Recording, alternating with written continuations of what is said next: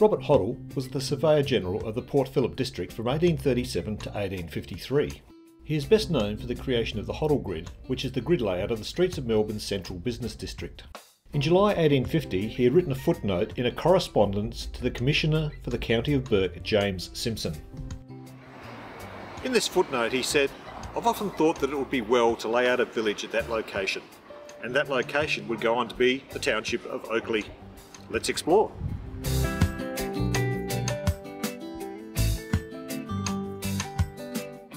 A year after Hoddle's comment in 1851, Victoria was proclaimed a separate colony from New South Wales. This year also corresponded with the start of the Victorian gold rush and a huge influx of wealth and migration to the new colony. Just prior to this time, the area around South Yarra Creek, which is Oakleigh's current northern boundary, was grazed by sheep and cattle, and stray animals became a huge problem. William Atkinson was tasked to operate a pound for these animals around the creek, which became known as the South Yarra Pound, and the water for the pound was supplied from the creek. Many of Atkinson's neighbours leased cattle and sheep runs. They were mainly Scottish immigrants, and names included Campbell, McRae, McNichol, McMillans, and so the creek became better known as Scotchman's Creek. The name stuck, and it remains as Scotchman's Creek today. Meanwhile, Hoddle had instructed his assistants to make reserves for future townships around Melbourne. They needed to have good soil, adequate water, and ease of access. By 1853, Assistant Eugene Belair surveyed the new parish of Mulgrave. It was bordered by Dandenong Creek to the east and the now current roads of Warrigal Road to the west, Wellington Road to the south, and Highbury Road to the north. Hoddle had instructed his assistant Henry Foote to allow for a township of 640 acres at the South Yarra Pound, so the town of Oakleigh was surveyed into the Shire but the original town was centred around the intersection of the Princes Highway and Warrigal Road. Hoddle's instruction read, measuring about 5 or 6 sections in blocks of 10 allotments, each with streets 99 feet in width, also some small portions of 10 to 20 acres, and you'll have the goodness to survey and mark the best line of road from Dandenong to Melbourne, making the width 3 chains. And so the town was laid out here, at the halfway point on the road between Melbourne and Dandenong. Now there are a few buildings here that date back to that old town, such as Lee Oak Hotel, which dates back to 1854, the Foresters Arms Hotel, which was granted its licence in 1864, and the former ES&A Bank, which opened in 1883. However, there is not much in the way of a town here at all. Where are the old shops, the town hall, the services? They're not here because the town moved. But where did it go and why? Well, follow me this way, about a kilometre to the south. For to answer that question, we'll need to talk about the railway. The main road carried a charge known as the Scotchman's Creek Toll. The road was the main route for the woodcarters and drays, and heavy loads tore up the road. The toll enabled the local district to pay for the repairs. People using the roads hated the tolls and there was much angst, and some took it upon themselves to protest, including the burning down of toll houses. The tolls were eventually abolished and the Gardner Roads Board was dismayed that they would now need to foot the bill for the road repairs. There was, however, respite coming. The government had approved the building of the main Gippsland line in November 1873.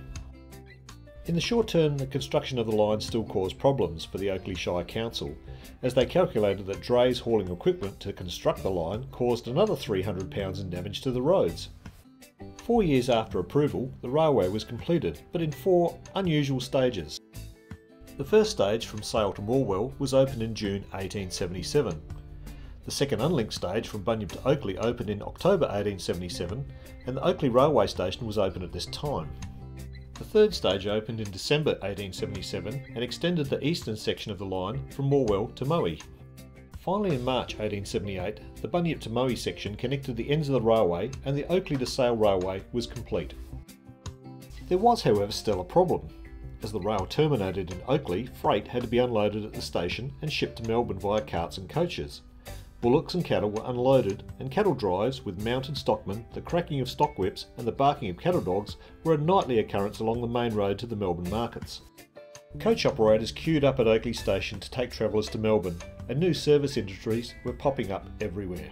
There was pandemonium. Meanwhile, the government could not decide on how to connect the rail from Oakleigh to Melbourne, and at one stage there were nine separate proposals on the table.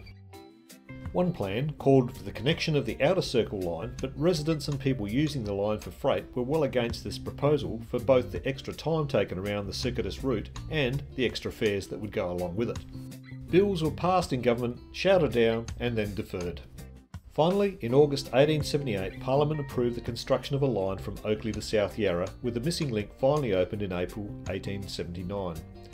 Upon the opening of the new line, the station was moved northwest to its current location.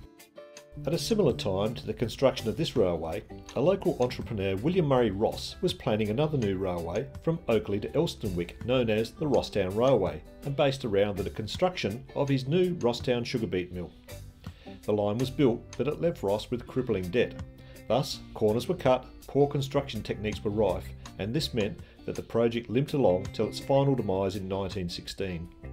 This story probably deserves a telling in full, so I hope to come back with a separate video on this project sometime in the near future. The Outer Circle Railway also terminated in Oakleigh for a short time. It opened the section from Oakleigh to Waverley Road and onwards to Burnley in 1890, with another line to Camberwell at the same time and an extension to Fairfield Park the following year. So for a short period in the early 1890s, Oakleigh was a real transport hub. The Oakleigh to Ashburton and Darling sections were soon closed in 1895, but other parts of this railway remain in place and parts of the Glen Waverley line and the Alamein line still run today. After the railway network was completed, a land boom around Oakleigh soon followed. The township experienced rapid development and the population quickly increased. The Oakleigh area was brought into the suburban system and fares to the city were drastically reduced. The fares were so much lower on this section of the railway that residents of Dandenong would drive their horses and carts to Oakleigh and stable them for the day, then travel from Oakleigh on the train. At that time, the daily fare from Dandenong to Oakleigh was about the same as a weekly fare from Oakleigh to Melbourne. By late 1888, there were seven new estates advertised with names like Oakleigh Park, the township of Oakleigh, Oakleigh Hill, Oakleigh Station, and the Gem of Oakleigh, which boasted 62 mansion sites. By the mid 1890s, the boom was over, and Oakleigh had the second highest percentage of vacant homes in Melbourne at 12.5%, just shy of Northcote at 12.8%. High interest rates at the time sent many businesses to the wall, and many of the houses built in the 1880s were now being demolished and removed. By the 1900s and the 1910s, though, things had settled down, but by the 1920s it was boom time once again, and Oakleigh's population doubled to 8,400 during this decade. One of the main contributors to this boom was the electrification of the rail line and the faster train travel that came with it. Land developers were quick to buy up and carve up even more of the surrounding market gardens to create new housing estates. Groups lobbied for more railway stations in the area, and Hughesdale was opened to the northwest in 1925 and East Oakleigh to the southeast in 1927. The East Oakleigh station was renamed Huntingdale in 1954. The Huntingdale station is technically still in the current suburb of Oakleigh and is not in Huntingdale at all, but that's a story for another day. The area struggled once again through the Great Depression, but in the 10 years after World War II, the population leapt once again from 14,000 to 25,000. Coming back now once again to the station, the line was duplicated from Oakleigh to Melbourne in 1883 and then on to Dandenong in 1891. By 1910, the station had two side platforms and a pass-through centre track. By 1915, the new station was built as well as a new platform on the south side and a fifth track to allow engines to bypass their carriages. As previously mentioned, the line was electrified to Melbourne in early 1922 and to Dandenong later that year. The Hanover Street Bridge was completed at the same time and crossed the goods yard. In 1968, the Warrigal Road crossing was also removed and an overpass was constructed in its place. In 1984, the goods was closed. Then, in 1995, when the Cranbourne line was electrified, trains that used to stop at Oakleigh now travelled straight through, and most of the remaining lines fell into disuse. In 2018, the Skyrail was built through the three stations to the northwest of Oakleigh, and they used the opportunity to tide up the remaining lines in Oakleigh. The line on Platform 1 was removed, and Platforms 2 and 3 became Platforms 1 and 2 respectively. The old Platform 1 is technically still there, but it's now fenced off. One of the main features of the station is the Arch project, which was completed in 1989. The project consists of pictures of 17 elderly Oakleigh residents illustrating their life stories and where they have come from, and 23 young Oakleigh residents, their shorter life histories and where they are going. It is also interesting to think that these younger people will now be in their late 40s or early 50s. Mainly on the northern side of the station, but also there are a few on the southern side of the bus terminals. There are so many bus routes here and it won't make great viewing to list them all in detail, so here's a quick montage. There's the 624, the 625, the 693, the 701, the 704, the 733, the 742, the 800, the 802, the 804, the 862, the 900 and the 903 there. There are no trams in Oakleigh, but the local authorities have been lobbying for one since the 1880s.